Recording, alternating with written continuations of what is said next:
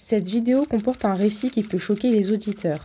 Si vous êtes sensible ou que le sujet de l'inceste, suicide et du viol vous trigger, je vous conseille de visionner autre chose. Vous inquiétez pas, on se revoit très vite.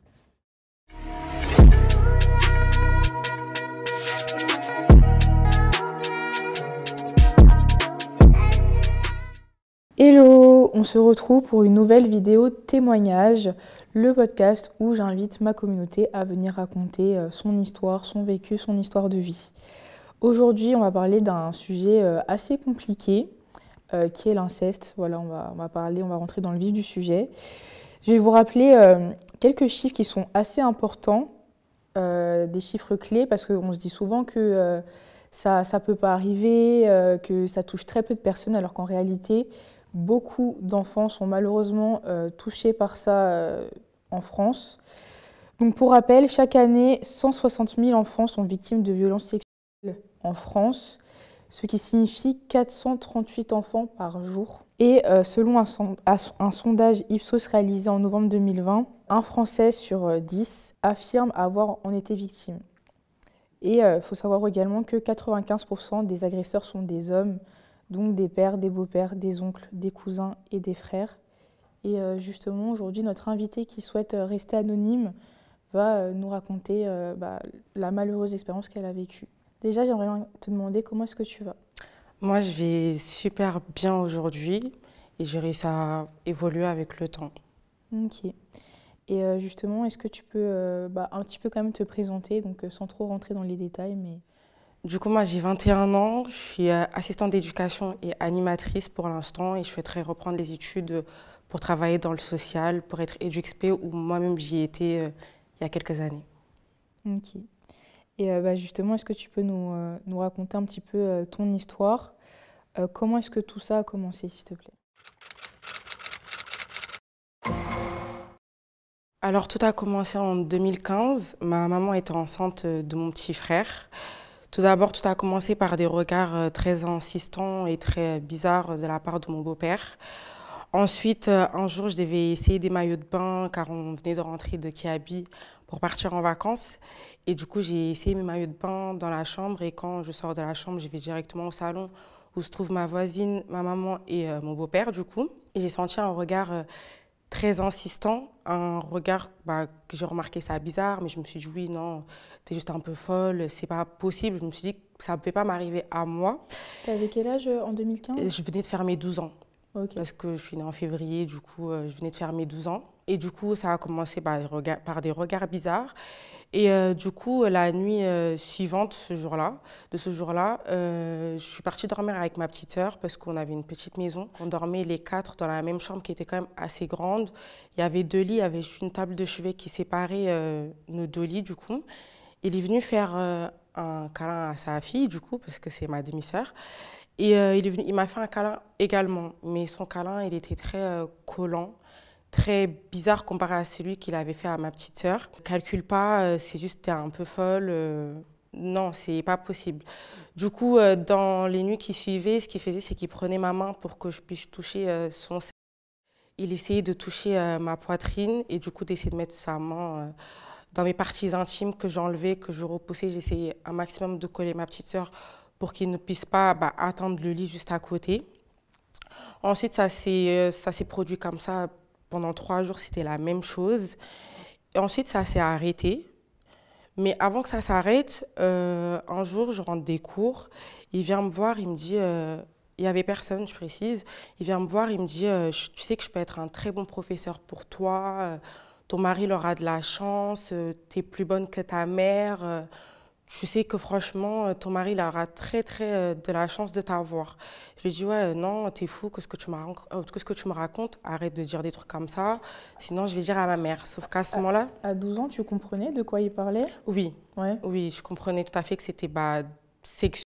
Toutes ces démarches et toutes ces paroles, c'était vraiment sexuel à mon égard. Je le pourquoi du comment, j'avais remarqué grâce au regard qu'il est en train de faire. Du coup, ce qui fait qu'il m'avait dit oui, qui pouvait être un très bon professeur et je me suis énervée. Je dis que j'allais tout dire à ma mère. Sauf qu'il s'avère qu'à ce moment-là, je voyais un psychologue du décès de mon père qui a eu lieu en 2013. Je voyais euh, un psychologue, mais je lui avais jamais parlé à mon psy de ce qui était en train de m'arriver, de ce qui se passait à la maison. Après, il me menace, il me dit clairement, non, mais dans tous les cas, même si tu vas aller dire à ta mère, elle ne va pas te croire parce que tu vas un psychologue, parce que bah, tu es folle. Du coup, je lui dis non, mais je vais quand même lui dire. Il me dit, bah, essaye, dans tous les cas, elle ne va pas te croire. Ça s'est arrêté, il n'y avait plus de, bah, du coup, euh, d'attouchement ou autre. Il y avait juste des regards bizarres parce que je me retrouvais au collège, je mettais des petits jeans, des petits crop tops. Je commençais à prendre des formes, du coup, euh, bah, des, formes physiques, ce qui fait qu'il y avait juste des regards, mais à partir de ce moment-là, je commençais vraiment à être mal à l'aise avec ce qui m'est arrivé. Je m'habillais vraiment avec des gros t-shirts au Versailles, je dormais en soutien-gorge, ce qui est super dangereux. Je dormais avec des gros pyjamas et je demandais même à ma soeur de m'accompagner à la douche. Je lui disais qu'on prétexte qu'elle me raconte sa journée à l'école mmh. pour qu'il ne puisse pas rentrer dans la salle de bain ou qu'il essaie de faire des choses bizarres. Pendant toutes ces années, tu avais vraiment peur de lui, en fait. C'est ça. C'est-à-dire une peur s'était installée, mais je ne lui montrais pas pour pas lui montrer que j'étais faible bah, vis-à-vis à lui ou que j'avais peur de lui. Du coup, j'étais sur la défensive. J'essayais de vraiment me montrer que j'étais bah, beaucoup plus forte. Ensuite, en 2019, euh, j'avais un petit copain et du coup, j'avais 16 euh, ans à ce moment-là. Et euh, je venais bah, de me mettre en couple, ça faisait un moment on était ensemble, du coup on, a parlé de faire notre première fois. À ce moment-là, euh, moi j'étais encore très hésitante parce que j'osais pas, j'avais peur, surtout que c'est pas évident. J'avais entendu plein de témoignages sur la première fois que bah, j'avais un peu peur. Mais du coup, on a fait notre première fois au mois de mai 2019. À ce moment-là, on avait déménagé, on n'était plus dans la même maison. Moi j'avais ma chambre, ma petite sœur, des fois je dormais avec elle, il y avait la chambre parentale. Ça veut dire que mon beau-père m'avait bah, du coup euh, vu dehors avec mon petit copain de l'époque, mais on n'était pas collés, on était juste, on marchait juste à côté il me dit, euh, quand je rentre, il me dit euh, Oui, c'est ton petit copain, je vais le dire à ta mère, je vais le dire à ta mère. Et moi, du coup, j'ai nié, je disais que non, c'était pas mon petit copain, c'était juste mon pote, euh, que rien à voir, que dans tous les cas, il raconte des bêtises. Il a lâché l'affaire. Ensuite, il me revoit avec lui, mais cette fois-ci, j'avais juste bah, sa main en dessous de son bras, on marchait à côté. Et il m'avait vu, il était sur l'autre trottoir, il m'avait vu. Du coup, euh, ça veut dire que du coup, quand je rentre, le même discours, oui, c'est ton petit copain, c'est ton petit copain, etc. Tu sentais que tu pouvais pas lui faire confiance? Non, je sentais que je ne pouvais pas lui faire confiance. Quand on a fait notre première fois, malheureusement, euh, mon petit copain avait oublié son préservatif dans la chambre. du coup, il était rentré avant moi euh, du travail, il avait vu le préservatif. Et du coup, il rentre, quand je rentre, il était super énervé, oui, c'est quoi ça, etc. J'essaie de nier en lui disant mais non, mais euh, c'est moi et mes copines, on a essayé de faire des expériences. Euh, moi, c'est pas moi, j'ai pas de petits copains. Du coup, j'essaie vraiment de nier au maximum. Jusqu'au moment où il me prend vraiment en confiance. Je, dirais que j'ai pas euh, beaucoup de regrets dans ma vie, mais vraiment le regret que j'ai aujourd'hui, c'est de lui avoir fait confiance ce jour-là. Il me dit il me dit non, mais tu sais que tu peux me dire, ton père il est plus là, mais je peux vraiment essayer de prendre sa place, de t'aider. Tu sais que c'est pas grave d'avoir un petit copain à ton âge. J'ai eu ton âge, c'est pas grave si euh, bah, tu as eu tes premières fois. Euh, ça arrive juste, il bah, faut pas que tu dises à ta mère parce que ta mère elle va super mal réagir, elle est capable de te mettre dehors. Il me prend vraiment confiance. Au début, je dis mais non, mais de tout cas, rien à voir. Euh, j'ai pas fait ma première fois, c'est pas à moi le préservatif. Il me dit non, mais t'inquiète, tu peux me dire. Je sais que tu as peur, mais tu n'as pas besoin d'avoir peur. Je sais que j'ai fait des erreurs dans le passé que je ne referai plus aujourd'hui. Qui m'a tellement mis en confiance bah, que je lui ai dit que oui, c'était mon petit copain, que ça fait un moment qu'on est ensemble et que du coup, euh, on a fait notre première fois à nous deux et que malheureusement, il avait oublié son préservatif. C'est-à-dire qu'à partir de ce moment-là, bah, c'est vraiment là que l'enfer commence, que je, je me sens sale, je dirais que je suis même une poupée. Euh, à partir de ce moment-là, quelques jours après, euh, j'étais rentrée des cours, je rentrais assez tôt parce que j'avais un contexte familial où j'avais énormément de règles que ma mère me donnait. J'avais des heures pour rentrer, pas de téléphone certains jours, pas de téléphone quand je dormais. Du coup, euh, je rentre des cours super tôt, je me trouvais devant ma série euh, dans le salon parce que c'est un duplex. Je précise que c'est un duplex chez moi. Du coup, ça veut dire que je me trouvais dans le salon. mon beau-père a envoyé ma soeur et mon petit frère jouer dans la résidence, parce qu'on habite comme dans une grande résidence où il y a des voisins, il y a des enfants. Mm. Et comme il faisait assez beau, il les a envoyés, euh, il les a envoyés jouer. Ça veut dire que je me trouve euh, du coup dans le salon, je regardais ma série. Entre-temps, il avait fermé la porte à clé, mais j'avais pas vraiment fait attention. Il avait fermé les fenêtres, j'avais pas vraiment fait attention. Ensuite, il monte dans sa chambre. Euh, les minutes elles passent, je continue à regarder ma série. Il m'appelle et me dit oui, écoute, je vais t'envoyer acheter de la bière. Est-ce que tu peux monter? Comme ça, je te donne l'argent. Du coup, je monte, je monte et là, il me dit non mais avant que je t'envoie je vais te demander un truc. Je lui dis, ouais, tu vas me demander quoi et tout. Euh, il me demande une pénétration de 30 secondes. Il me demande une pénétration de 30 secondes. Bah, moi, choquée. Je dis, non, ça va pas, jamais de la vie. Euh, t'es es, mon beau-père, t'es le mari de ma maman, euh, c'est mort. Je commence à m'énerver et lui commence à s'énerver à son tour. Il commence à s'énerver à son tour, etc.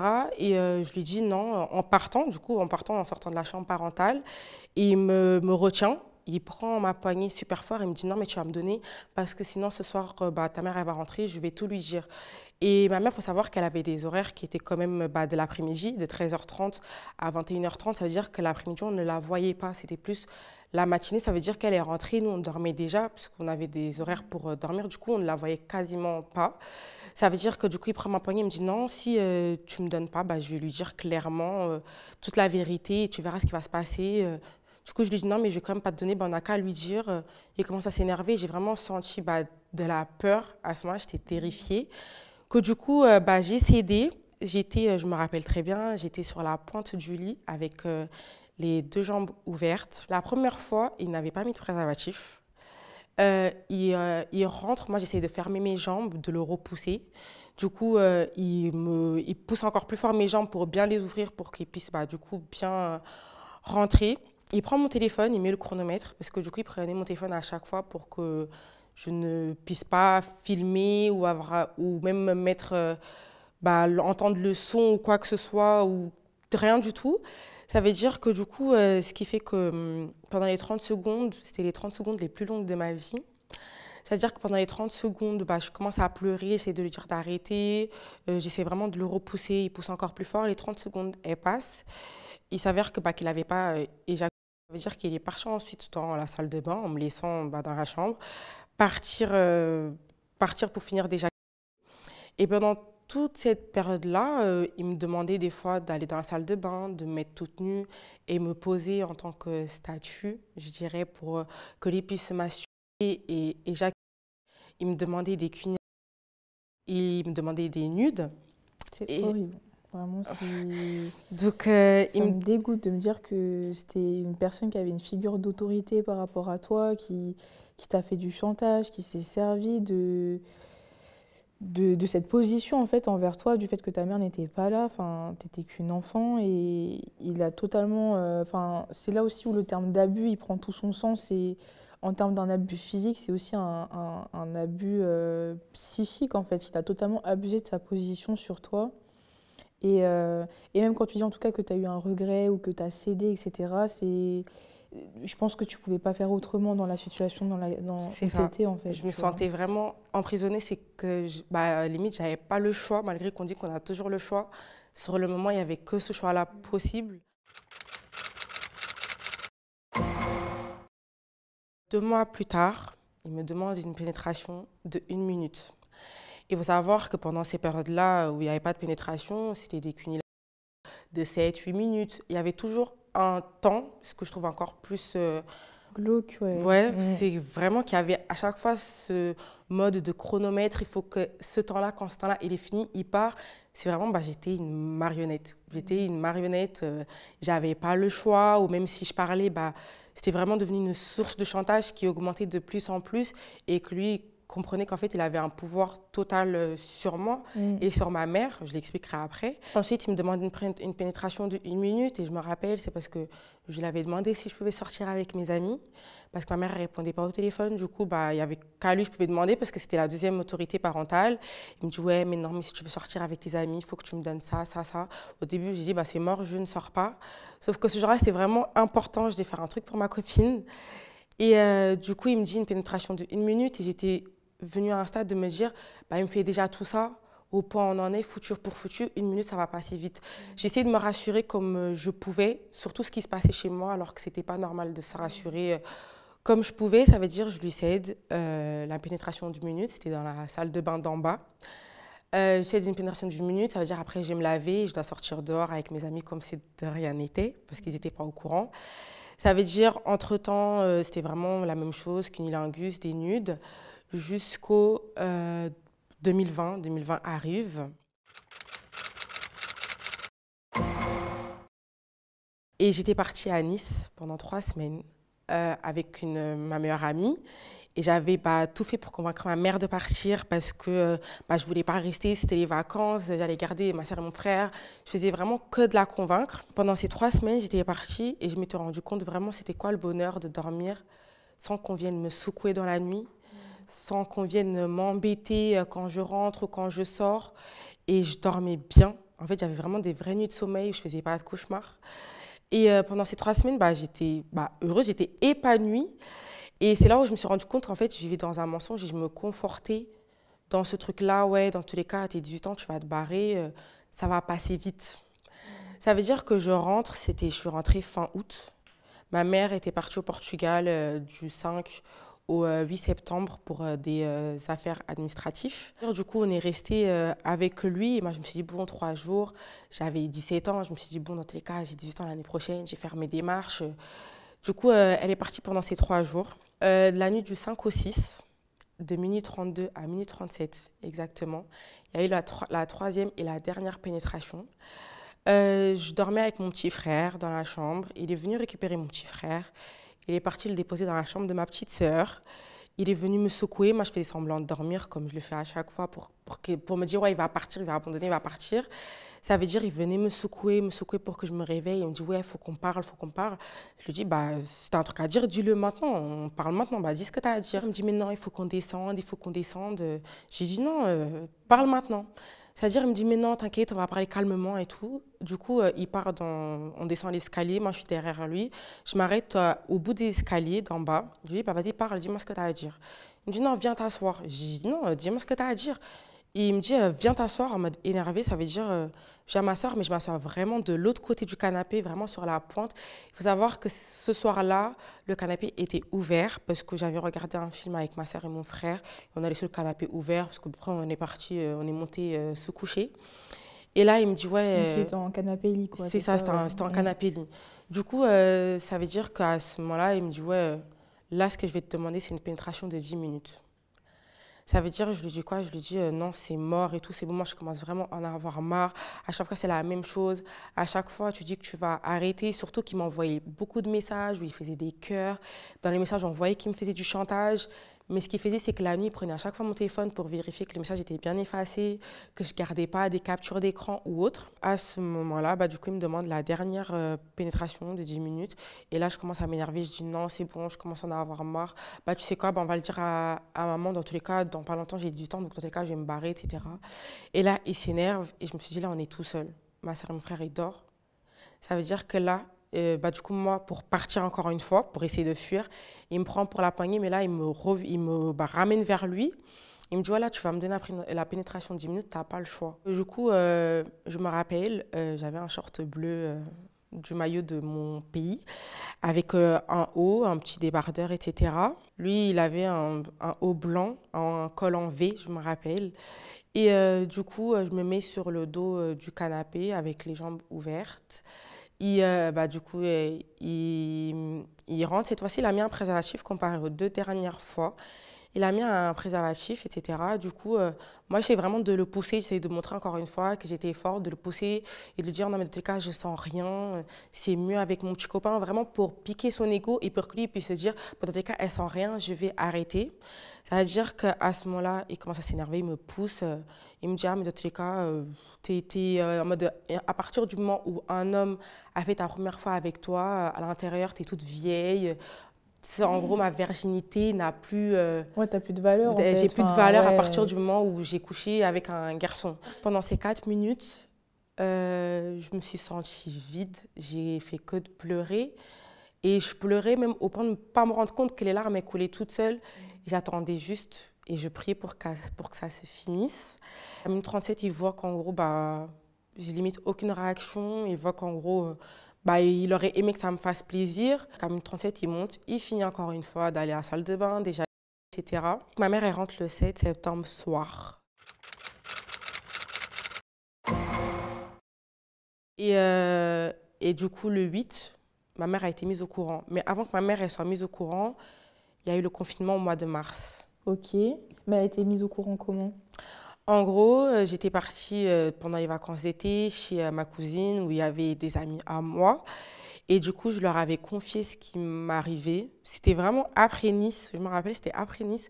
J'étais partie un week-end pour me faire coiffer et j'avais dit à mes copines, en gros, bah, ce qui m'est arrivé.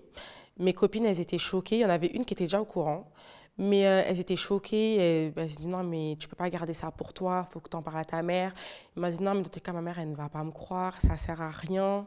Euh, dans tous les cas, ça sert à rien. Dans tous les cas, j'ai bientôt 18 ans et je partirai et ce sera du passé. Une de mes copines euh, est partie dire à sa mère, que sa mère qui est en contact avec ma tante, du coup, ce qu'avait ma cousine, est partie ensuite dire à ma mère que ma mère est venue me, bah, me poser la question de ce qui m'est arrivé. Ça a vraiment fait en fait un bouche à oreille. C'est euh, ça. Ça a commencé à s'ébruiter en fait. C'est ça. Et jusqu'ici, euh, mis à part du coup euh, cette copine, tu en avais parlé à d'autres personnes, des proches à toi ou pas du tout? Oui, j'en avais parlé à mon petit copain qui était de l'époque et j'avais parlé bah, du coup à mon meilleur ami et à ma meilleure amie, c'était pendant le mois de mars, euh, pendant le confinement, quand vraiment le confinement a commencé. Du coup, je leur avais dit ce qui se passait, ils étaient tous choqués euh, en me disant mais pourquoi tu m'en as pas en parlé, faut que tu lises à, faut que tu lises à ta mère, est-ce que tu veux qu'on bah, le fasse un get un get get en mode plein de, de, trucs comme ça en mode des solutions que je n'avais pas envisagé mm. peut-être de dire à ma mère mais je savais déjà qu'il avait tellement une emprise sur elle qu'il aurait pu lui dire euh, bah, le, ciel est, le ciel est rose. Et elle va croire que le ciel est rose. C'était vraiment à ce point-là où l'emprise, elle était forte, que je me suis dit, ça ne sert à rien.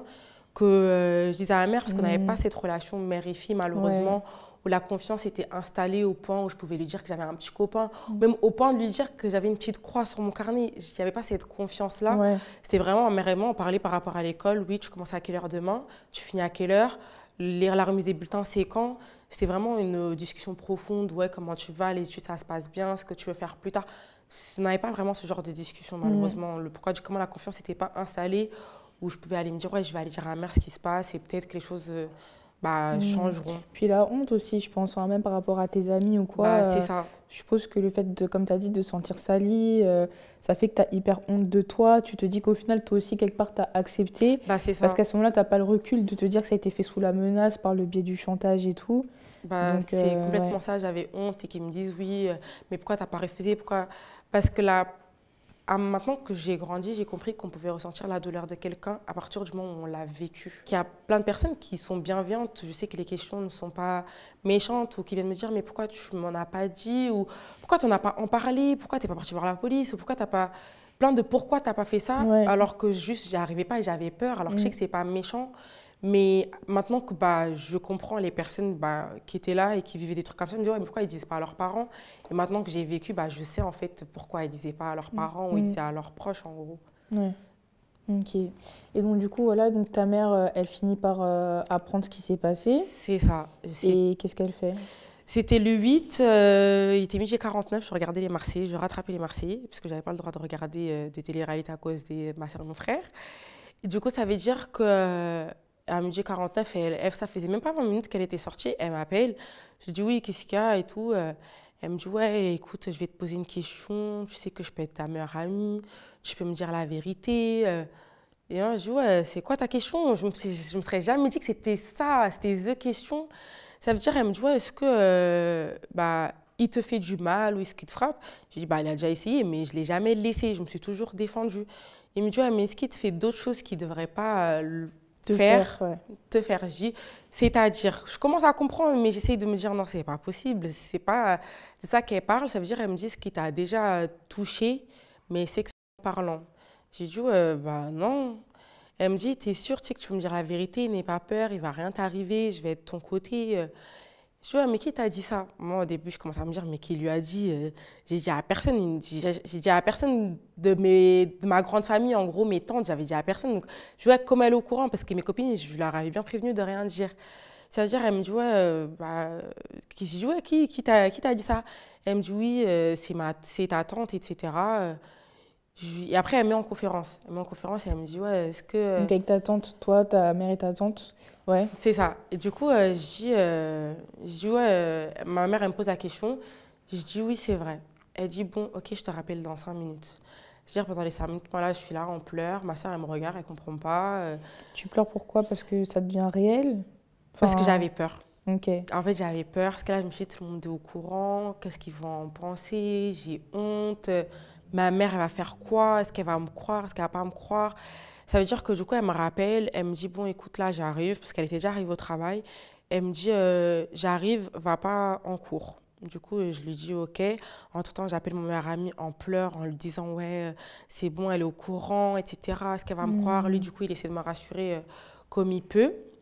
Et lui, il était où à ce moment-là? Il, il, est aussi assistant d'éducation. Il travaillait. Il m'a dit Est-ce que tu veux que je vienne J'ai dit Non, ça sert à rien. Dans tous les cas, elle arrive, je vais euh, euh, rester à la maison. Et, ton beau-père Lui, il était au travail. Au travail, ok. Il était au travail. Lui, il n'était pas encore au courant que. Bah, que ça s'ébruitait C'est ça. Ça veut dire qu'entre-temps, ma mère, pendant la route, je me rappelle, elle avait appelé bah, du coup euh, mon beau-père en lui posant la question est-ce que tu aimes euh, bah, ta fille comme ta fille Est-ce que tu aimes ton fils comme ton fils? Il répondait oui. Après, elle lui a posé la question est-ce que tu aimes ce qu'il m'aime en tant que sa fille? Il a dit oui. Après, il m'appelle, euh, il m'harcèle clairement sur mon téléphone, je réponds pas, je dis ah, que je suis en cours. direct. C'est ça, je, dis ouais, euh, je dis que je suis en cours, je peux pas répondre parce que ma mère m'avait demandé de lui dire ça au cas où il m'appelle. Il m'envoie des messages, il me dit ouais, euh, je vais aller en prison, est-ce que tu as dit à quelqu'un, qu'est-ce que tu as fait, est-ce que ta mère elle est au courant? Et moi je lui dit ouais, je peux pas répondre, je suis en cours. Je te rappelle plus tard vraiment pour faire passer le temps alors que j'étais chez moi. Du coup, ma mère elle arrive en pleurs, elle me demande de lui expliquer bah, ce qui s'est passé. Euh, je lui explique, je me rappelle que je ne lui avais pas dit que, en gros, il y a eu la dernière pénétration deux jours avant, parce que, en fait, je me suis dit, si je raconte après tout à la police, il va prendre beaucoup d'années de prison. Comme moi, à ce moment-là, je voulais que personne parte en prison. En fait, je voulais vraiment juste que ça s'arrête et qu'on m'entende et que ma mère me croie, en gros, qu'elle dise, OK, je te crois et qu'elle prenne une décision. Du coup, elle est au courant. Euh... Tu avais l'impression que tu allais briser la famille C'est ça. en prison. Et que surtout, comme mon père il est décédé, je me suis dit, je ne peux pas enlever euh, bah, le père de ma soeur et mon frère.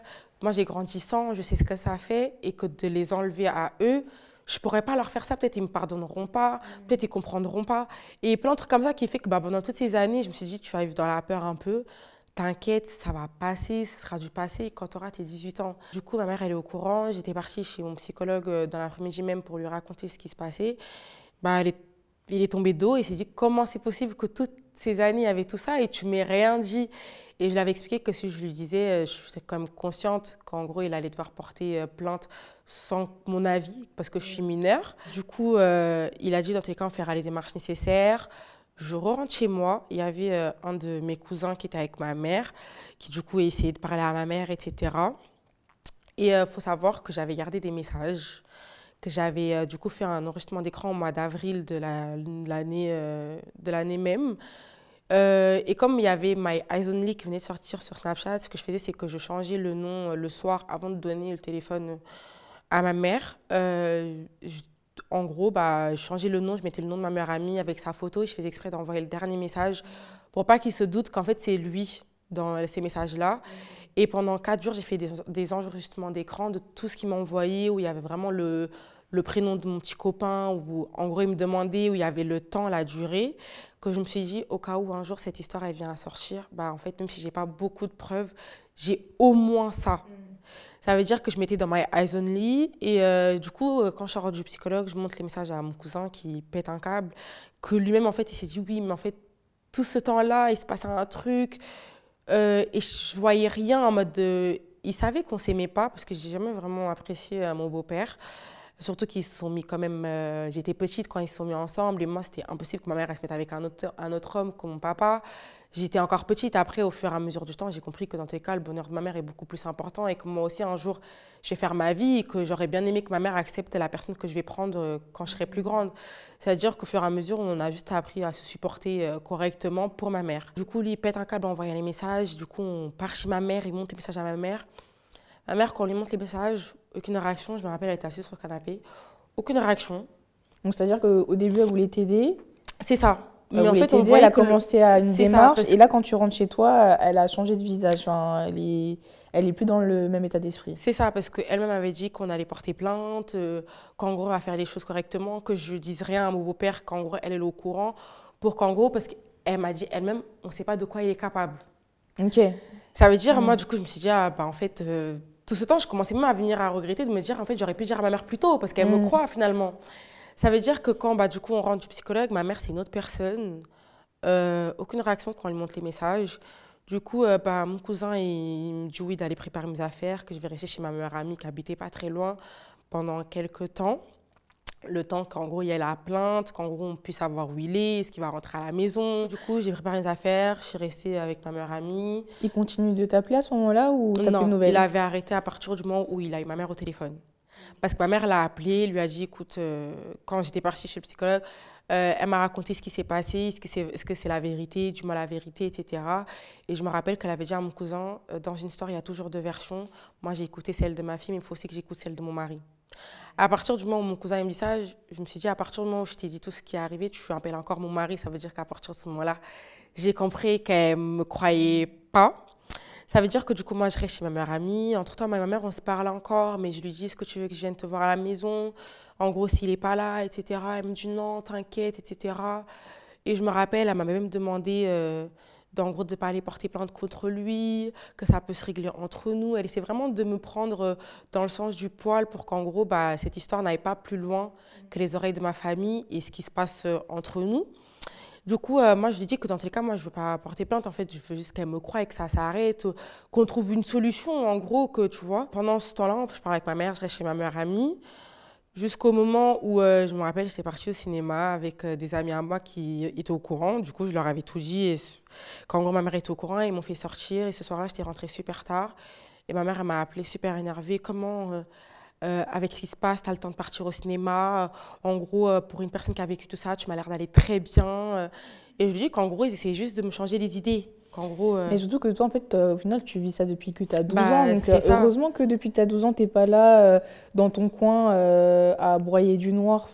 C'est ça. Du coup, elle s'énerve. Elle me dit Bon, écoute, je vais venir te chercher, etc. J'ai dit non, viens pas me chercher. Dans tous les cas, on ne sait pas où il est. Moi, à ce moment-là, je ne savais pas qu'elle le mettait euh, à la maison, qu'il venait dormir à la maison et qu'en mode, ils agissaient comme une famille. Ah, en gros, pour, euh, pour toi, là, c'est comme s'il avait disparu. en gros, moi, je ne savais pas où il était. Ma mère, elle me dit, ouais, on ne sait pas où il est. Euh, j'essaie de l'appeler au téléphone. Des fois, elle me dit qu'il est là, dans une gare, qu'il dort dehors. En fait, elle essaie vraiment de me faire culpabiliser, qu'il ne puisse pas rentrer à la maison, rejoindre ses enfants, etc. Du coup, Et toi, tu avais porté plainte déjà à ce moment-là ou pas encore À ce moment-là, je n'avais pas encore porté plainte parce que du coup, il y avait les démarches, il fallait que j'aille euh, chez les UMJ pour euh, du coup qu'ils me fassent euh, un examen gynécolo gyné... Gyné... gynécologique. Oui, gynécologique. Et qu'après, je vois un psychologue avant que la plainte soit du coup déposée avec la brigade de la ville où je me trouvais. Ça veut dire que du coup, à ce moment-là, bah, du coup, ma mère, elle était un peu chelou du coup, euh, je me rappelle un samedi, parce que ça c'était vendredi soir le cinéma, un samedi, elle me dit, euh, c'est même pas elle qui m'a appelée, c'est une des anciennes copines de mon père, une de ses anciennes meilleures amies, qui m'appelle, elle me dit, oui, il faut que tu viennes à la maison, euh, ta mère elle va mourir. En fait, elle me fait culpabiliser au téléphone. Et moi, à ce moment-là, j'ai pas pensé à qu'elle pouvait me mentir. Ça veut dire que moi, du coup, je vais avec ma meilleure amie et la mère de ma meilleure amie bah, chez ma mère que du coup, je vois que ma mère, elle va bien. Et du coup, euh, cette, euh, cette amie de mon père, elle me parle. Elle essaie de me parler, elle essaie de, prendre, de me parler de mon père vraiment pour m'adoucir et que, en gros, je puisse, bah, du coup, ne pas aller porter plainte ou autre. Et après, ma mère, elle vient dans la chambre, elle me dit, en gros, toi, euh, tu m'as pris pour un clown. je sais très bien que tu en avais envie. vous deux, vous êtes coupables dans cette histoire. Si tu lui as donné, en gros, bah, le terme qu'on dit chez nous dans notre origine, si tu lui as donné bah, ton c'est mm. que tu en avais envie parce que tu pouvais très bien refuser, tu pouvais très bien m'en parler. Et elle me dit tout ça face à face. Moi, je suis super énervée. Je lui dis, mais tu penses que j'ai que ça à faire? J'ai jamais aimé ton mari. Je l'ai accepté parce que toi, tu l'aimais. Qu'est-ce que je vais aller Tu vois bien qu'on se parle jamais, on s'embrouille à chaque fois à la mm. maison. Toi-même, tu nous reproches ça, etc. Des fois, on s'entend bien, mais tout ça, ça a été pour toi. Parce que moi, c'est de moi-même. Je ne l'aime pas, tu le sais. Euh, toutes les fois, tu m'as demandé d'appeler papa. Je te dis à chaque fois que c'est mort. Qu'en gros, mon père, il a existé malgré qu'il soit plus là. Et euh, du coup, euh, je m'énerve et je lui dis clairement que si mon père il aurait été là, qu'en gros tout aurait été différent, qu'elle a fait la promesse de me protéger. Je lui ai dit, tu as fait la promesse de me protéger jusqu'à mes 18 ans. Aujourd'hui, j'en ai 17. Aujourd'hui, le moment où j'ai le plus besoin de toi, tu ne l'as pas été. Ça veut dire que je pars. Et euh, toutes ces discussions, je l'avais enregistrées au cas où euh, la police, parce que la police, ils allaient me poser la question par rapport à ma relation avec ma mère et qu'elle allait avoir le juge des enfants. Euh, moi, je suis super énervée. Du coup, je rejoins ma meilleure amie, etc. Du coup, je pleure une fois que je suis à l'extérieur, parce que j'aime pas pleurer devant les gens. Ça veut dire que je pleure, je lâche tout. Et je rejoins ma meilleure amie, je lui raconte, la mère de ma meilleure amie choquée. Et à ce moment-là, la mère de ma meilleure amie me dit clairement qu'en gros, ma mère l'avait appelé pour engager un avocat, mais pour mon beau-père, pas pour moi. Hmm et une avocate qui est quand même pas donnée pour euh, les revenus qu'ils ont tous les deux. Et je me suis dit, à ce moment-là, c'est bon, ma, ma mère, euh, ça va être compliqué, elle est contre moi. Ça veut dire que du coup... Et euh, finalement, comme quoi, tu as eu ce pressentiment toute ta vie que tu pouvais pas te confier à elle. Et, et à ce moment-là, bah, elle a prouvé que tu avais raison. C'est ça. Et à ce moment-là, je me trouvais chez une de ses amies à ma mère parce qu'elle voulait pas que je reste chez ma meilleure amie. Elle a, du coup, elle a dit qu'en gros, elle va venir me chercher de force. J'ai dormi euh, chez une de ses amies 3-4 jours. Et comme en gros, euh, j'avais pas le meilleur des comportements parce que je rentrais super tard des cours, je restais avec mes amis parce que je voulais pas rentrer. En fait, je, je voulais juste rester à l'extérieur et vraiment essayer de penser à autre chose. Et la plainte, elle a été déposée le 15. Je suis partie toute seule parce que ma petite sœur, elle se trouvait malade. Du coup, ma mère, elle ne pouvait pas venir, mais dans tous les cas, les relations qu'on avait, même si elle serait venue, je ne pense pas qu'elle aurait apporté euh, grand-chose.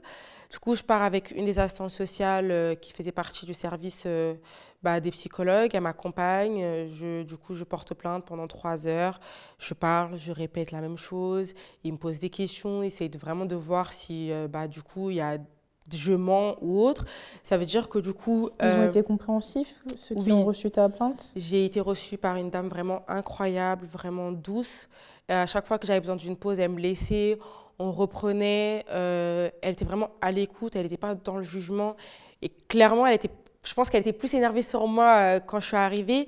Et bah, je ne la remercierai jamais assez parce qu'elle a fait vraiment le nécessaire jusqu'au jour, bah, du coup, j'ai eu euh, le procès et une réponse à tout ça. J'ai porté plainte le 15 et entre-temps, j'étais entre soit chez ma meilleure amie, soit chez l'amie de ma mère. Et le 25 septembre 2020, du coup, ma mère m'appelle quand j'étais au chemin d'aller au lycée. elle me dit, écoute, tu peux plus rester euh, chez mon ami, euh, soit tu reviens à la maison et en gros, euh, en gros, tu restes dans ta chambre, je te ramènerai à manger. Quand tu voudras aller prendre ta douche, faire en sorte que lui, il soit en bas. Parce que oui, il était parti en Suisse entre-temps. Il était parti en Suisse entre-temps. Et comme du coup, moi, bah, du coup, ma mère et mon beau-père, c'est pas des personnes qui sont très niveau technologie, niveau téléphone, c'est sont sont pas très forts. Du coup, à chaque demande d'application pour installer ou faire des démarches, ils me demandaient à moi. Il faut savoir que mon beau-père avait acheté un iPhone quelques mois avant et je lui avais fait toutes ces démarches iCloud. Et quand j'avais vu il n'était pas net sur sa localisation, je suis partie localiser moi-même grâce à du coup à ses coordonnées iCloud pour voir où il était. Et j'ai vu qu'il était entre la frontière de la Suisse et la France. Et la, la localisation datait quand même d'il y a quelques jours. Donc je me suis dit, c'est sûr, il est là-bas. Et après, j'appelle du coup à la brigade et je dis euh, qu'en gros, euh, j'ai localisé. Ils ont dit que nous aussi, on a réussi à le localiser. On a vu qu'il avait fait un prélèvement 10 000 euros et qu'il avait acheté une carte SIM prépayée. Et qu'en gros, ils ont dit que clairement, là, il est en fuite alors que vous venez juste de porter plainte. Ah, Il est parti mmh. même avant que vous portiez plainte. Pour quelqu'un qui n'a rien fait, c'est quand même suspect. Qui n'a rien fait et surtout, ça se voit qu'il est au courant en fait. Donc bah, ta mère, finalement, elle lui donne toutes les informations. Euh, bah, c'est clairement ça. Du coup, euh, ensuite, le 25 septembre, le 25 septembre elle m'appelle et elle me dit que du coup, je ne pouvais plus rester chez son amie. Et après, elle me dit, au pire des cas, appelle ton psychologue et tu lui dis que tu n'as pas d'endroit où y aller. Et moi, je lui dis, mais... Elle m'a dit, dans tous les cas, euh, avant qu'elle raccroche, elle me dit, dans tous les cas, là, tu as 17 ans, euh, tu vas... en mode, je te donne à l'État. Tu seras un enfant de l'État, c'est le terme exact qu'elle utilisait. Et du coup, moi, j'appelle mon psychologue, je lui dis, lui, il me croit pas. Il me dit, mais comment ça Elle m'avait l'air d'être de ton côté, qu'est-ce qui se passe et tout du coup, il a dit, bon, écoute, je vais appeler ta mère et je vais confirmer ça avec elle. Il confirme ça avec elle et du coup, il me, il me rappelle quelques minutes après. Il me dit, euh, il me dit quoi? Il me dit, écoute, là, tu vas en cours. Euh, il y a quelqu'un qui va venir... Euh, non, au début, il me dit pas qu'il y a quelqu'un. Il me dit, ouais, t'inquiète pas, à la fin des cours, on te trouvera une solution. Ça veut dire, moi, du coup, en cours, je stresse. Ma copine, elle essaie de me faire rire. En mode, tu sais pas où est-ce que tu vas dormir le soir. C'est ça. Et surtout que j'avais pas d'affaires. Euh, je m'étais préparée pour aller en cours. J'avais ramené, j'avais aucune affaire avec moi à part mes affaires de cours. À la fin, mon dernier cours, il y a un surveillant du lycée qui vient. Il me dit, écoute, dès que ça sonne, tu ne sors pas de la salle. Je dis, ouais, pourquoi, il y a quoi? Il me dit, non, tu m'attends, tu peux pas sortir de la salle toute seule. Du coup, bah, coup j'attends. Il m'accompagne bah, coup, dans le bâtiment à côté où se trouve le proviseur, etc. Il me dit euh, Attends, ici, il y a quelqu'un qui va venir t'expliquer, etc. Parce que moi aussi, je ne suis pas très au courant de ce qui se passe. Du coup, euh, il y a le proviseur qui vient me parler. Euh, il y a bah, du coup une référente de l'aide sociale à l'enfance en urgence qui vient pour m'expliquer la situation. Ils me disent clairement que je vais être placée en foyer d'urgence parce que du coup, je n'ai pas d'endroit où dormir et que je suis mineure et que dans tous cas, je ne peux pas retourner chez ma mère et qu'il y aura sûrement bah, du coup un juge qui va prendre la décision si du coup je retourne chez moi où je, où je continue en foyer, et après la suite un contrat jeune majeur, etc. Du coup, moi, à ce moment-là, je me dis, mais c'est pas possible. J'ai tellement de familles ici, je me retrouve euh, bah, à partir en foyer. Ouais, bah ouais. Du coup, elle me ramène avec moi dans la voiture, elle essaie de me parler. Il faut savoir que moi, j'avais un cliché euh, des foyers très euh, pas très moche. Hein. Je me suis dit, euh, c'est, je serais mélangée avec des gens que je connais pas. En mode là-bas, les enfants, ils sont pas comme moi. J'avais une image vraiment très cliché de ce qu'on peut voir dans les et films. négatif, du coup. Et négatif, même des éducateurs. Et il s'avère qu'en fait, c'est totalement faux parce que j'ai été très bien, très bien accompagnée. Et du coup, euh, je reste euh, en foyer d'urgence jusqu'au 20 octobre où il y a eu le jugement avec, avec le juge. Euh, des enfants et ma mère. donc euh, ça a été presque une comparution immédiate là, enfin, ça. ça allait hyper vite. C'est ça.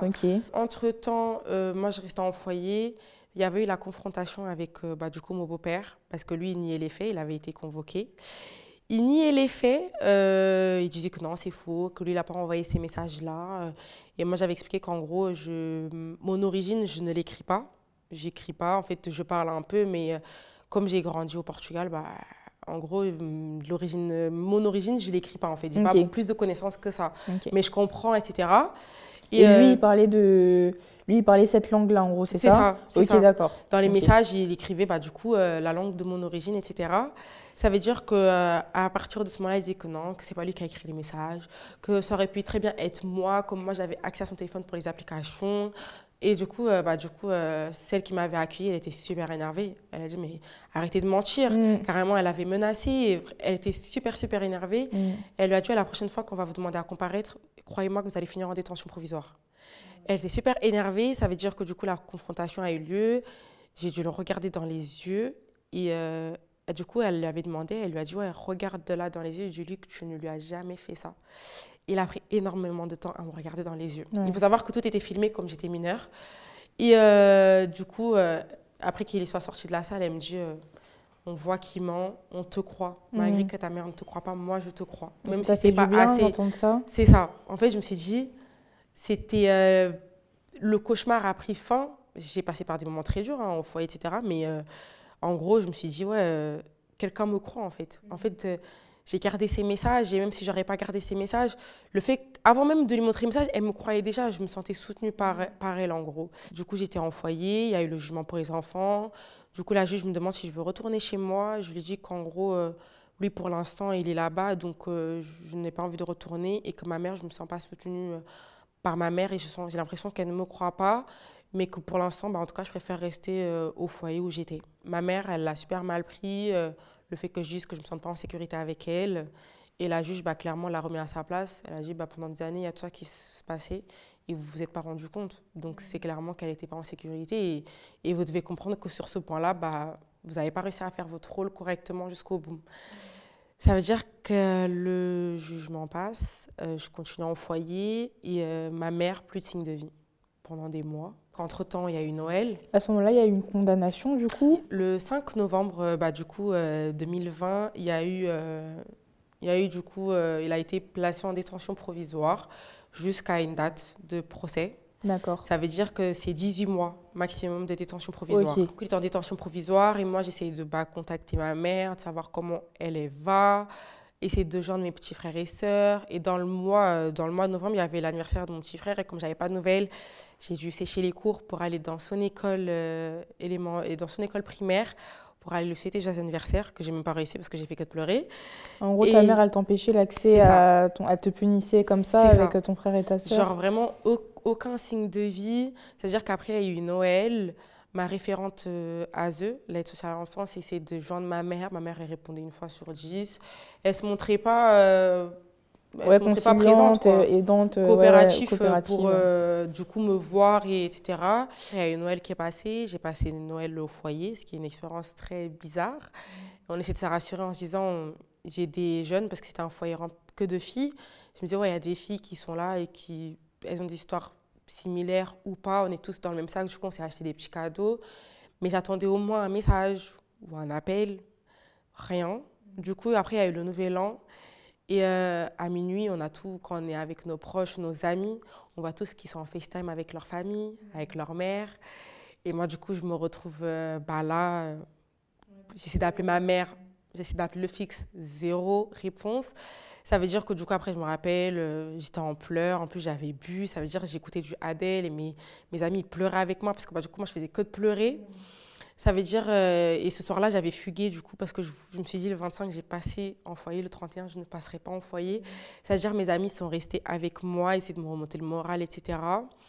Ensuite, le mois de janvier, il passe.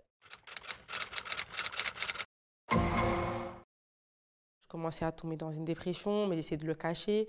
Je commençais à plus aller en cours. Je faisais que dormir. Euh, je mangeais pas. Euh, quand on m'appelait, soit je répondais, soit je répondais pas. Je m'enfermais dans ma chambre parce qu'on avait notre chambre au, foyer. Après, il y a eu mon anniversaire, mes 18 ans. Euh, je me rappelle, bah, toute la journée, je suis partie en cours. Ensuite, j'ai fêté au foyer et le seul appel que j'attendais, c'était celui de ma mère. Carrément, les autres, ils ne m'auraient pas appelé ça aurait été moins grave en fait. C'est-à-dire j'attendais son appel, etc. Rien, rien du tout. Même, je me suis dit, même ma soeur et mon frère, peut-être ils vont m'appeler en cachette, rien du tout. Ça veut dire qu'ensuite, euh, je me rappelle au mois de février, il y a eu cette histoire de Covid, moi je l'ai attrapé. Euh, le Covid après, un truc africain, je ne me rappelle plus comment ça s'appelle. Ah, euh, je ouais, je sais plus. Mais... Je me rappelle plus, mais voilà. Ça veut dire que pendant trois semaines, je suis restée enfermée mm. dans une chambre dans une chambre. Euh, j'ai commencé des séries, j'ai commencé à devenir folle. Euh, trois semaines où il me ramenait mon repas devant la chambre. Et tu avais encore un suivi psychologique à ce moment-là Oui, je voyais toujours mon psychologue tous les mercredis. Après les cours, etc., on parlait, il m'avait demandé d'écrire quand ça allait pas. Du coup, quand bah, du coup, j'étais euh, pendant le confinement, j'étais confinée pendant les trois semaines, il m'a appelé, etc. Ça veut dire qu'en gros, j'étais partie à l'hôpital parce que j'ai des problèmes au niveau sanguin, au niveau de la partie du bas de mon corps. Ça veut dire que je suis partie à l'hôpital, ils ont appelé ma mère pour les prévenir que j'étais à l'hôpital et que c'était un peu grave, comme mes jambes elles ont gonflé et euh, bah, le sang ne circule pas correctement. Et euh, du coup, ma mère, rien.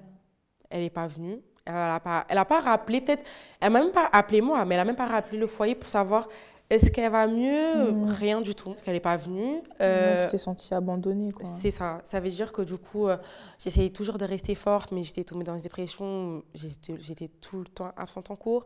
Je rendais plus les devoirs. C'était l'année du bac. Moi, j'étais là, je me suis dit, dans tous les cas, je vais pas avoir mon bac, ça sert à rien.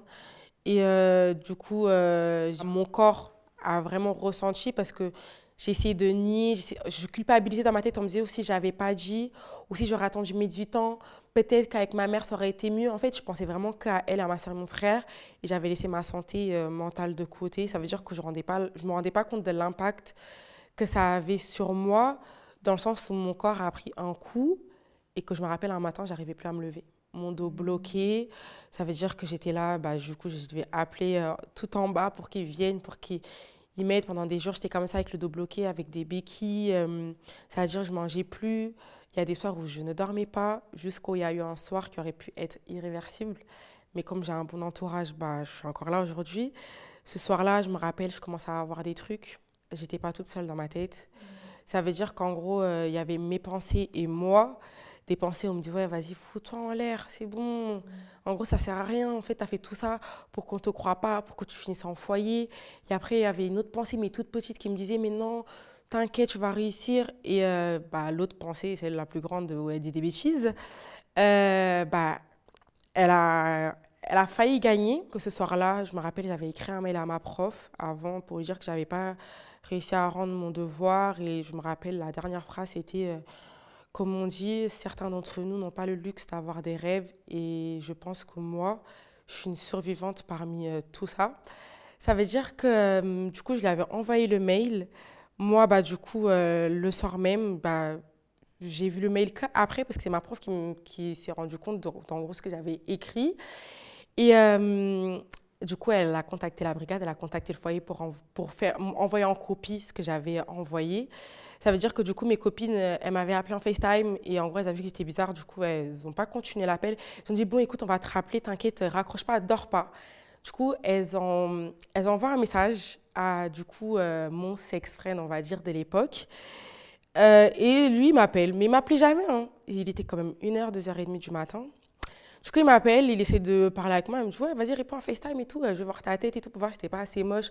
Il essaie de me faire rire, mais il voit que dans ma voix, bah, je suis pas. Euh, c'est pas moi, en gros. Quand dit J'étais pas moi-même. Ça veut dire, il, il me dit Ouais, appelle en FaceTime et tout. Euh, regarde-moi et tout. Du coup, je lui dis Non, ça sert à rien et tout. Je dis Ouais, tu veux quoi et tout. Super dans la défensive. Et en gros, il a compris qu'en gros, bah, je voulais me suicider. Quoi. Ça veut dire que du coup, euh, ce soir-là, je me rappelle, il m'a. Ah, il, m'a fait mal. Hein il me dit, ouais, euh, il me dit, ouais, donc en gros, ce que tu veux faire là, c'est foutre ta vie en l'air, quoi. Donc il m'a dit, tu as fait tout ça, tu es parti porter plainte, tu es en foyer, maintenant que ton cauchemar il est fini, tu veux tout foutre en l'air, pourquoi tu l'as pas fait avant? Mais il fallait le faire avant. Tu fais quoi ici ouais, encore il te rentrait dedans, en fait. C'est ça, il me rentrait dedans pour vraiment me réveiller, et il me disait, euh, bah vas-y, fais-le, on le fait ensemble alors. Et euh, il était là, il me dit, ouais, en fait, tu es faible. C'est ça l'exemple que tu donnes à ta sœur, tu dis, tu l'as fait pour elle, mais finalement, tu l'as pas fait pour elle alors. Finalement, c'est pour aller te foutre en l'air, tu vas tu vas dire quoi Et là, il, me dit cette phrase. Ok, imaginons là, tu te fous en l'air, tu montes en haut, il y a ton père, tu vas lui dire quoi?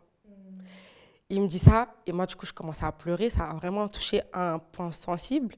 Il me dit, donc, tu vas lui dire, en gros, tu as fait ça pour te foutre en l'air, quoi.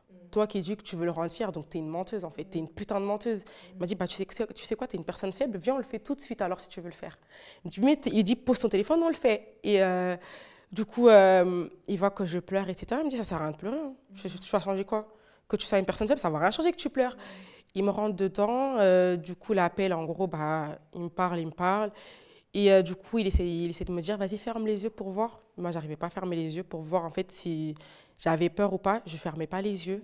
Je regardais que le mur. J'avais l'impression que le mur était en train de tomber, qu'en fait, le monde était en train de s'écrouler et tout. Ça veut dire que du coup, on finit par s'endormir au téléphone. Le lendemain, il m'appelle comme si rien n'était, comme si la discussion n'avait pas eu lieu. Du coup, euh, je le remercie parce que je lui dis clairement, je pense que bah, si tu n'aurais pas été là, je ne serais plus là, en gros. Il me dit, mais non, t'inquiète, j'ai rien fait, j'ai juste parlé un peu, tu connais. Il essayait un peu de se jeter des fleurs et tout. Après, euh, ça allait mieux, je me suis rapprochée de Dieu, j'avais recroisé une copine qui était en fugue. Et à quel point le monde est petit, on, s'était croisés dans le même foyer, à rentrer de fugue, elle me regarde, elle me dit, tu fais quoi ici et tout? C'était juste le jour d'après. Je dis, mais toi, tu fais quoi ici? Euh, Tu as des problèmes, toi? Mm. Elle me dit, mais je ne me serais jamais dit qu'au collège, euh, en mode, tu vivais tout ça. Genre. Et même moi, je dis, mais c'est la même chose. Moi, je te voyais, tu souriais, tu te battais avec tout le monde, tu allais défendre tout le monde, alors que toi, tu avais des problèmes et tu n'arrivais pas à te défendre toute seule et tout. Elle me dit, bah, c'était une, une façon de mettre le pansement des autres sur le, ma cicatrice à moi. Et après, on a commencé, bah, du coup, jusqu'à aujourd'hui, on est inséparables euh, et on a des histoires totalement différentes. On s'était vraiment rapprochés de Dieu. Les soirs d'après, on dormait ensemble, même si on n'avait pas le droit. On dormait ensemble, on priait et ça allait euh, beaucoup mieux. Sauf qu'après, entre-temps, j'avais les appels de ma famille qui étaient vraiment là pour savoir, pour du commérage, clairement, parce qu'ils n'étaient pas là avant. Mais il y a eu le procès final entre-temps ou pas? Non, le procès n'avait pas encore eu lieu. D'accord, ok. Ça veut dire qu'entre-temps, moi, je suis en foyer, j'ai fait ma demande de contrat jeune majeur. Le contrat jeune majeur, en gros, c'est à partir du moment où tu as 18 ans, normalement, tu dois demander un contrat pour être, continuer à être suivi par l'aide sociale à l'enfance et avoir un accompagnement. C'est-à-dire que j'avais mis du temps, j'ai fait une lettre pour demander mon contrat jeune majeur, que je donne mes objectifs avant que je parte du foyer, etc. C'était avoir mon bac, que je l'ai eu, de justesse, mais je l'ai eu. Donc, euh, j'ai eu mon contrat jeune majeur et ça allait beaucoup euh, mieux. Après, il y a eu, bah, du coup, euh, la fin du confinement était finie, j'ai commencé à, à, sortir. Après, il y a une de mes tantes, celle qui a élevé ma maman, qui m'appelle et me dit Là, je pense que c'est les derniers jours de ta mère. Il faut qu'on aille la voir. C'est-à-dire, moi, à ce moment-là. Euh, tu n'avais toujours pas de nouvelles depuis? Tout, Pendant tout ce temps, on ne s'était pas parlé et je m'étais fait à l'idée. Je me suis dit, bon, je vais pas voir ma soeur, mon frère grandir, mais quelque part, à un moment donné, ils vont être grands, ils vont voir qu'il y a, un truc qui va pas. en fait ce qui s'est passé. C'est ça, et que de, même ils vont venir bah, du coup me voir euh, pour euh, bah, chercher à savoir la vérité. Entre temps, bah, du coup, je suis partie chez ma mère. Je l'ai vue dans un état où je me serais jamais dit qu'elle était comme ça.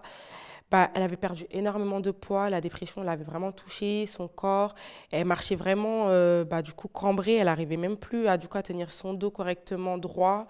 Euh, elle avait perdu des cheveux. Du coup, euh, juste après, elle a été diagnostiquée qu'elle avait le lupus. Elle faisait de l'alopécie. Elle avait des taches sur le visage. Vraiment une personne qu'on ne serait jamais dit qu'en fait, c'était elle que j'avais vue quelques mois avant. elle n'arrivait pas beaucoup à parler. Quand bah, le premier jour où je l'ai vue, on ne s'est pas parlé. Plus que ça, c'était plus ma tante. Et du coup, après, notre relation, elle a commencé à s'améliorer, mais je voyais qu'elle ne me croyait toujours pas.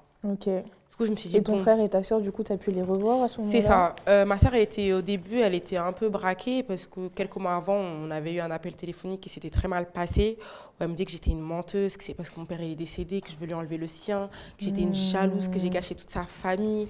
En gros, euh, qu'elle a dit, ouais, dans tous les cas, aujourd'hui, je ne te considérais plus comme ma grande sœur. Aujourd'hui, c'est moi qui, euh, qui, du coup, sera la grande sœur de mon petit frère. C'est moi qui va gérer, qui prendra soin d'eux et tout. Et l'appel, il s'était mal, très mal passé. Du coup, elle était un peu sur la défensive quand on s'est vu. Mais après, petit à petit, on a commencé à se reparler. On parlait pas vraiment de ce qui se passait. Mon frère, il était encore petit, donc il, est vraiment, s'est jeté dans mes bras directement. Lui, il comprenait pas vraiment ce qui se passait. Il savait juste que son père, du coup, était en prison. Quand j'allais à la maison, des fois, bah, du coup, il appelait sur le fixe. Euh, j'avais vu que ma soeur et mon frère, ils avaient le réflexe bah, de, euh, de ne pas mettre au haut-parleur de ne pas être dans la même pièce que moi. Du coup, ils avaient compris qu'en gros, c'était moi le personnage avec lui principal en gros de toute cette mm. histoire. Euh, il y a eu un jour où ma soeur était au téléphone avec lui et euh, il dit à ma soeur, tu lui diras, tu lui passeras le bonjour de ma part. J'ai trouvé ça super bizarre, je n'ai pas calculé. Ça veut dire qu'entre-temps, moi et ma mère, on a une relation qui est comme un corps conflictuel au jour d'aujourd'hui, mais euh, en gros, on se parle, bah, si je peux l'aider, je l'aide et tout. Du coup, entre-temps, j'ai eu le cruise, je suis partie au cruise, je me suis mise en couple avec mon copain d'aujourd'hui euh, encore. Entre-temps, on a déménagé parce que ça devenait trop petit. Quand j'étais fâchée, euh, le lit était trop petit là pour euh, bien tourner mon dos, quoi. Ça veut dire, je me suis dit, hmm. je dit, écoute, c'est pas moi l'homme, mais vas-y, viens, on déménage. tu t'es mise en couple avec justement la personne là qui t'a aidé. C'est ça, qui m'est rentrée dedans le, soir le soir où, je voulais ça, pas, ça veut dire, on s'est mis en couple et du hmm. coup, bah, je lui ai proposé qu'on déménage parce qu'il voulait plus rentrer chez lui. En fait, il hmm. squattait chez moi. Je lui ai dit, il va falloir trouver une solution là. Ça veut dire, euh, du coup, on a déménagé. Euh, du coup, après, on a trouvé un truc beaucoup plus grand. En gros, ça se passait mieux. Je voyais ma soeur, mon frère et ma mère. C'était quand même conflictuel parfois, mais bon. Ensuite, on a eu les dates du procès. Mon avocat, je le voyais entre-temps, très peu. Mais euh, du coup, bah, je vois mon avocat, je lui dis tout. Et si je n'ai pas précisé, la nuit du 5 aussi, je l'ai dit bien plus tard à la brigade que tout le reste. Parce que je voulais pas, je voulais vraiment pas qu'il parte en prison à ce moment-là. Ah, donc en fait, la dernière pénétration, tu n'en avais jamais parlé Non, j'avais vraiment parlé très tard, qu'après, du coup, euh, le, j'ai été reçue par euh, bah, du coup, le juge au tribunal qui m'a demandé de lui raconter où j'ai été filmée, etc. Ça veut dire euh, que du coup, je vois mon avocat, c'était du coup 2021, juillet, début juillet, pendant trois jours de procès. Ça veut dire qu'il m'avait annoncé un mois et demi avant. Moi, du coup, stressée. Je me suis dit, mais les dates, elles vont arriver. Mm. Mais comment ça va se passer? Je vais le revoir, en ouais, c'est vrai. Ça veut dire que ce jour-là arrive. Euh, du coup, moi, stressée de la vie, je me rappelle, j'ai pas dormi carrément. Je dormais, je chantais que je dormais trop. En fait, je me suis dit, voilà, ça se trouve, je suis en retard. Vraiment, le stress est en train de mm. jouer euh, bah, dans ma tête, quoi. Ça veut dire que les trois jours de procès arrivent. C'était long. C'était comme du 9h, des fois jusqu'à 19h. Ça veut dire qu'on revoyait les messages, on lui posait des questions et il se montrait pas très coopératif et répondait pas vraiment. Surtout que lui, comme euh, il parle pas bien français, il avait quelqu'un qui traduisait ce qu'il disait. Et mon avocat, il faisait vraiment exprès de se mettre devant moi pour pas qu'il puisse m'intimider avec son regard ou, ou autre. Ça veut dire, euh, du coup, euh, moi j'ai parlé pendant trois heures en expliquant ce qui s'était passé au juge. Vraiment, j'ai été attaquée par son avocate très attaquée. Donc, euh, il y avait mes proches, j'étais très bien entourée. Euh, du coup, jeudi, parce que c'était euh, du mercredi au vendredi. Mercredi, c'était vraiment le matin, ils expliquaient les faits. L'après-midi, c'était plus moi qui parlais avec la brigade, enfin, c'est la gendarme qui m'avait reçu avec mon psychologue, parce qu'aussi, ils ont été reçus avec des éducateurs à moi et ma professeure principale et euh, ton psychologue, celui qui t'a suivi tout le long, il était là aussi C'est ça, ils, ont vraiment été tous convoqués euh, pour avoir un suivi, pour savoir ce qui s'est passé, etc. Mhm. Ça veut dire qu'après, le jeudi, ma mère, elle a été reçue le matin. Ça veut dire que du coup, ce jour-là, bah, du coup, elle a clairement dit qu'en gros, elle a rien vu. Elle a comment elle sait que je dis la vérité? Elle dit ça devant bah, du coup, les personnes qui étaient là, ça veut dire les juges, l'avocat général. Ça veut dire, elle dit ouais, non mais vous savez, il a toujours été un, il a été un, un mari, il a été euh, un père pour mes enfants, il a été vraiment un ami pour moi, il m'a vraiment soutenu quand je suis passée par des périodes compliquées où ce jour-là, bah, elle, a, elle a clairement dit ce que je n'étais pas au courant, que du coup mon père l'avait violé dans le passé. Et euh, du coup, elle dit tout ça et en gros, elle montre qu'elle ne me croit pas. Et, mmh. et limite, elle les attendrit pour euh, qu'ils... C'est ça, en montrant que lui, c'est une bonne personne, que c'est même elle qui l'a conseillé de partir en Suisse en attendant une date de procès. Mmh. En gros, elle, elle montre qu'elle est de leur côté. Ça veut dire que... Et toi, tu avais l'enregistrement, non euh, De la conversation que tu avais C'est ça. Et eux, ils savaient dans tous les cas parce qu'ils avaient parlé à ma mère. Okay. ils avaient parlé à ma mère et tout. Et ma mère, elle a même, même dit... le psy, le psy, au début, elle lui a dit qu'elle elle te ça. croyait. Donc, euh, C'est ça. Et la gendarme, euh, elle avait dit aussi le jour du procès que je n'étais pas au courant, que ma mère, elle lui a regardé face à face et elle a dit, bah, on va voir si vous allez réussir à mettre mon mari en prison. Oh ça veut dire qu'en hmm. gros, bah, ils savaient que ma mère ne me croyait pas. Et après, ils ont même posé la question à ma mère. Si demain, euh, il va être déclaré coupable, est-ce que vous continuerez avec lui? Elle a dit, euh, bah, honnêtement, comme je vous ai dit, euh, j'ai rien vu. Donc, je ne sais pas qui dit la vérité dans cette histoire, mais je continuerai à l'aider.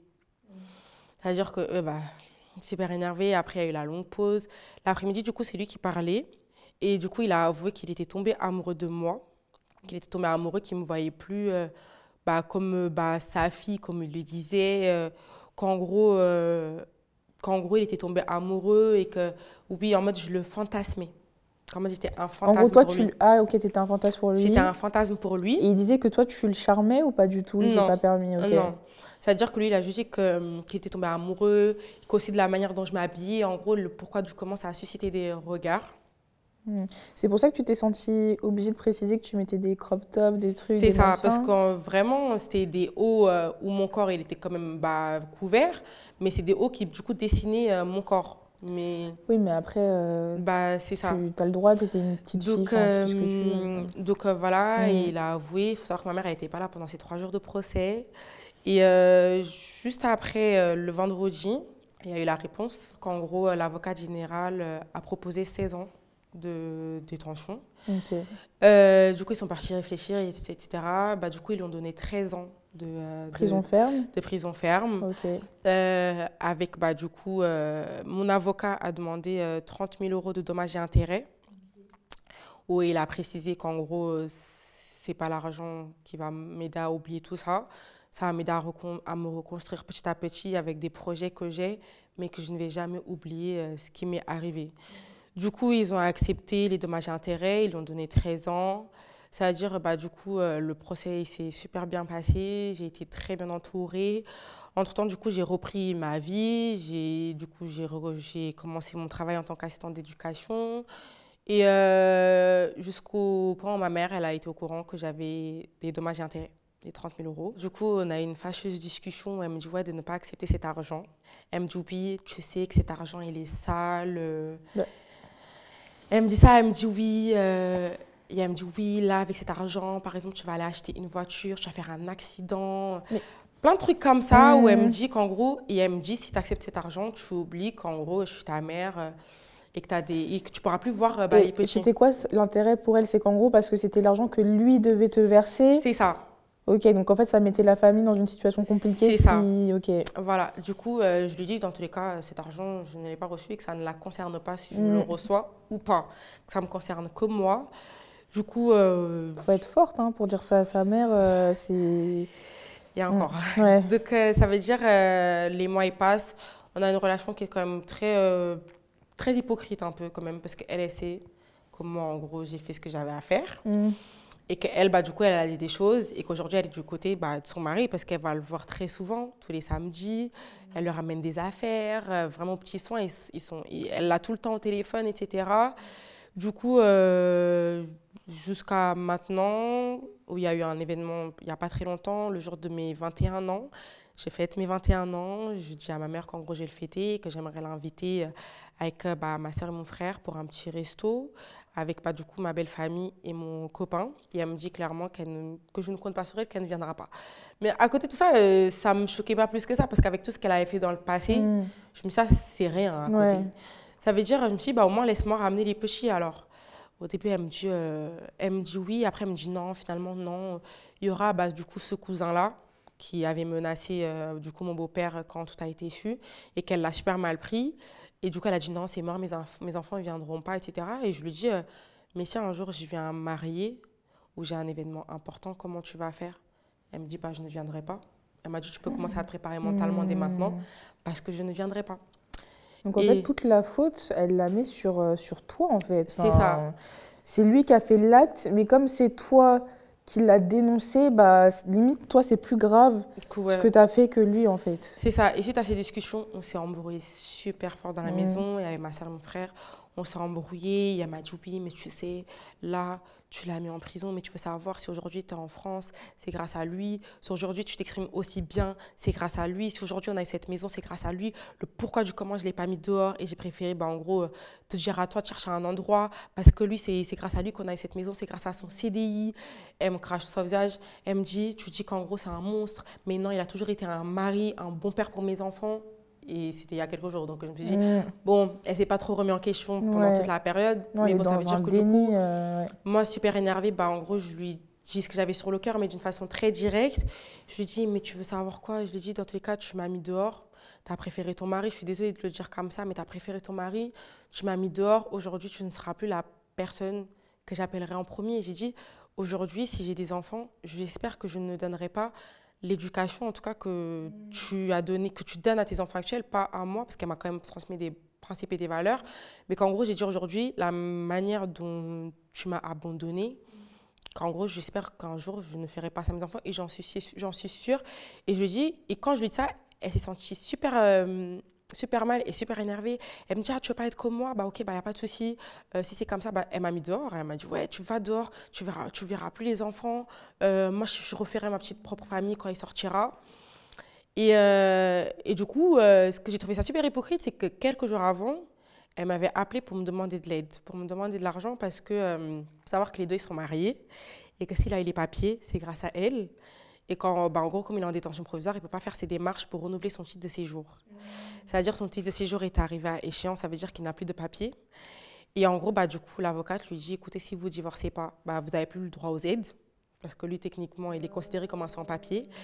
Et euh, du coup, vous allez devoir payer votre loyer en totalité. Et comme bah, elle est malade, quelque part, bah, elle ne peut pas travailler à temps plein, c'est-à-dire qu'elle n'a pas totalement sa paye. Et en gros, elle dit, euh, elle dit ouais, qu'en gros, elle est dans une situation compliquée que si elle divorce, bah, il l'envoie dans son pays d'origine. Du coup, elle essaie de me dire oui, mais avec les enfants, j'ai pas envie de leur retirer leur père. Moi, j'essaie de, lui dire gentiment qu'en gros, ils, seront majeurs, qu'en gros, ils pourront aller le voir, mais c'est compliqué, qu'en gros, elle doit penser à elle et ses enfants, et que je vais essayer de l'aider. Et après, on a eu cette fâcheuse euh, discussion. En gros, bah, du coup, on s'est vraiment dit tout ce qu'on avait à dire sur le cœur. Et, euh, du coup, bah, c'est là où je lui ai dit aussi qu'en gros, si mon père il aurait été là, qu'il serait très déçu. Et que si mon grand-père, qui a, qui a décédé il y a pas très longtemps, qui aurait été très déçu aussi parce qu'il n'aurait jamais pensé que sa fille aurait euh, agi ainsi et qu'elle aurait préféré son mari euh, à son enfant. Le pourquoi du comment aujourd'hui, bah, je me trouve euh, ici bah, pour aider les personnes qui, pour les jeunes filles ou même des jeunes garçons ou bah, des jeunes femmes qui essaient de se reconstruire. Qu'en gros, comme j'avais dit, certains n'ont pas le luxe d'avoir des rêves. Mais aujourd'hui, moi, je suis plus une survivante j'ai des rêves et je sais que je vais tout faire pour euh, y arriver à les réaliser et qu'en gros, euh, c'est possible que mon histoire ne fait pas euh, la personne que je suis aujourd'hui, mais qu'elle m'a énormément aidée dans le sens où aujourd'hui, je, suis beaucoup plus forte. Je suis beaucoup plus forte et c'est pas une honte. C'est pas une honte de ce qui m'est arrivé parce que j'ai accepté qu'en fait, j'étais une victime parmi mmh. d'autres et que la parole, c'est important. Mm. De parler, c'est important, si on, même si malheureusement on est dans un pays où la justice, euh, des fois, ne nous écoute pas vraiment, mm. mais que même d'en parler à des proches ou même bah, de témoigner comme moi je le fais, bah, c'est comme déposer un peu sa, sa charge, son, son mm. fardeau, et bah, du coup d'aider d'autres personnes. Le pourquoi du comment, bah, je me trouve ici. Et même au final, bah, c'est le fait que tu l'aies dit à tes proches et qu'ils aient réagi d'une certaine manière qui a fait que le truc s'est ébruité et que tu as réussi un peu à sortir aussi euh, de cet engrenage. Après, je pense que c'est très délicat parce qu'il faut en parler aux bonnes personnes. Euh, par exemple, si euh, ton beau-père avait eu le temps de retourner le cerveau de ta mère dès le départ, bah, peut-être que tu n'aurais pas pu en parler à ton psy, etc. Enfin, aussi dans ton histoire, ça se joue vraiment à des bonnes coïncidences qui se bah, sont mises ensemble et qui ont permis que le procès finalement il arrive facilement. C'est ça. Des, aussi ça montre l'important je trouve euh, de tomber sur euh, bah, des personnes euh, compétentes et qui sont vraiment formées sur le sujet. C'est-à-dire que tu as eu une policière ou une gendarme qui a été compréhensive, un psy qui a réagi très très vite, l'aide à l'enfance qui a été là, un foyer où ça s'est bien passé. Enfin, je trouve que dans ton histoire, il y a plein de facteurs qui montrent que c'est vraiment important de former le personnel à ce genre de problématiques. je trouve que tu en es vraiment la preuve que sans ça, l'issue, elle aurait pu être totalement différente, en fait, même au niveau du procès, etc. Quoi. Oui, donc malgré tout, je me dis que la justice ne nous écoute pas, mais il y a des personnes qui sont encore là pour nous écouter. Mm. Des fois, on tombe sur euh, des mauvaises personnes, des fois sur des très bonnes personnes, comme moi, j'ai eu la chance de tomber et je leur remercierai jamais assez parce que j'ai été mm. accompagnée.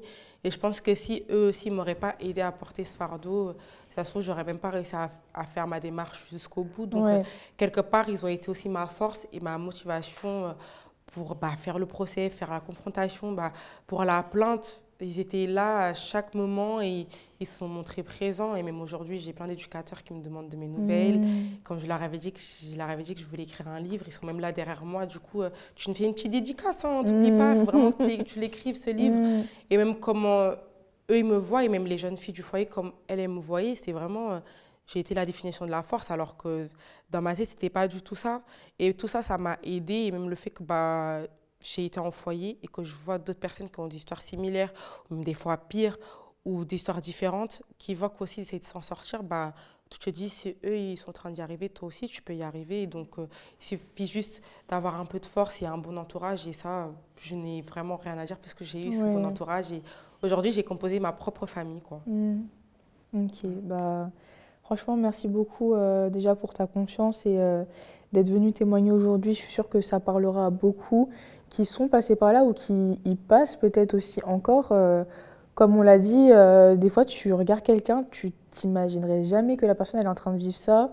Elle, a un sourire de façade, etc. Alors que derrière, à la maison, bah, la personne elle n'est pas du tout en sécurité. En tout cas, je t'en prie. Merci à toi du coup m'avoir permis bah, de témoigner, d'aider des personnes en cas de besoin. Et surtout, n'oubliez pas que bah, les rêves, on en a tous et qu'il y a des survivants, mais vous pouvez euh, ressusciter quelque part et y arriver et être plus fort que jamais. Et en tout cas, franchement, euh, je te conseille vraiment d'écrire ce livre. Je pense que ça peut être vraiment très, très utile. Merci beaucoup. En tout cas, bah, merci encore. Je vous mettrai euh, en barre d'infos euh, tous les numéros qui sont importants aussi euh, à appeler. Si vous faites partie de l'entourage, si vous avez écho de ce genre de situation, c'est vraiment important d'en parler parce que souvent on se dit ouais mais moi de mon côté je peux rien faire, c'est leurs histoires de famille, je ne peux pas m'en mêler, je ne sais même pas si c'est vraiment vrai ou pas. Non, c'est important d'en parler, d'appeler les numéros qui sont compétents par rapport à ça pour pouvoir euh, agir parce que finalement, euh, des fois, ça se joue juste à ça. Là, ça se joue juste à ton ami qui en a parlé à ta tante. C'est ça. Et qui, voilà. Euh, le cauchemar, c'est terminé, quoi. À ce moment-là, en fait. C'est ça. Mm. Bah, merci beaucoup. Merci à vous d'avoir suivi ce témoignage. Si jamais vous, voulez, vous aussi voulez partager votre histoire, je vous mettrai toutes les informations en barre d'infos. Et nous, on se dit à très vite pour une prochaine vidéo. Bye. I love you, girl.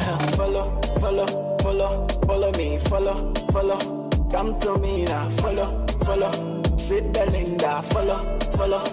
Oh, yeah. Follow, follow, follow, follow me. Follow.